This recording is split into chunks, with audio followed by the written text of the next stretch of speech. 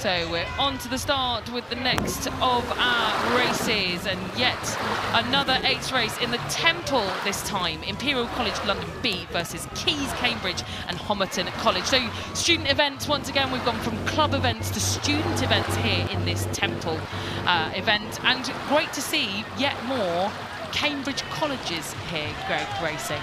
Yeah, absolutely. Cambridge colleges racing. Uh, we've got this Caius crew on the left of your shot now with that sort of checkerboard uh, club colours they've got there. They've lost a length, though, um, along Temple Island. So it's looking like it's going to be hard work for them to, to maintain the overlap and go in for the bump. Um, don't think they're going to be able to do that today, which would have been the tactics they'd love to have been able to use, but the bumps, sadly for them, weren't able to happen um, back in June. Um, but they were, they were all set and ready for it. Um, here we see them good crew, um, just trying to hang on to that Imperial College B crew, um, but they look pretty strong at front there.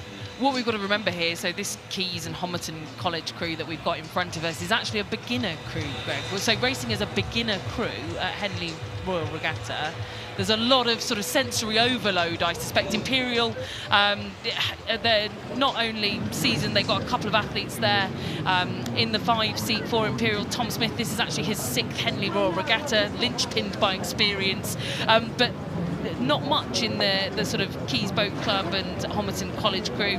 A couple of athletes in the three seat and stroke seat that have done Henley before once or twice, but majority novice crew. So how do you think they're feeling going through that middle part of the course with everything coming at them? Uh, must be a cool experience though. A brilliant experience to race at your first Henley, um, to be out here on this course in these conditions, rating a crew like uh, Imperial, so strong. Um, you can see the conditions, they're still handling them fairly well. Um, there's a bit of breeze on the course, you can see the flags going, but not much more than that. Imperial fully in control of this. Uh, the Temple Challenge Cup, a, a fantastic event.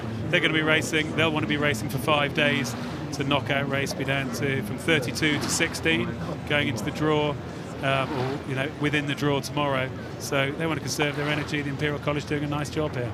Yeah, and look, they'll be wanting to replicate what their A crew did earlier on in the programme. Their A crew, of course, progressing through to the latter stages of the Temple Challenge Cup, having won their race earlier.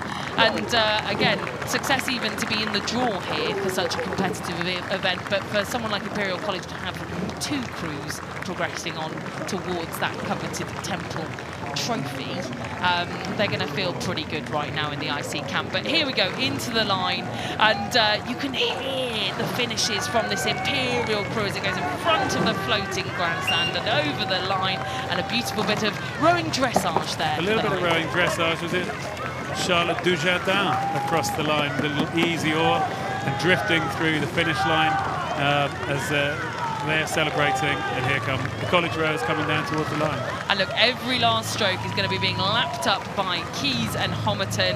Uh, the first regatta for the majority of this crew for seven members of this crew. Their first ever Henley Royal Regatta completed. The cheers from Imperial College, the sportsmanship well and truly alive.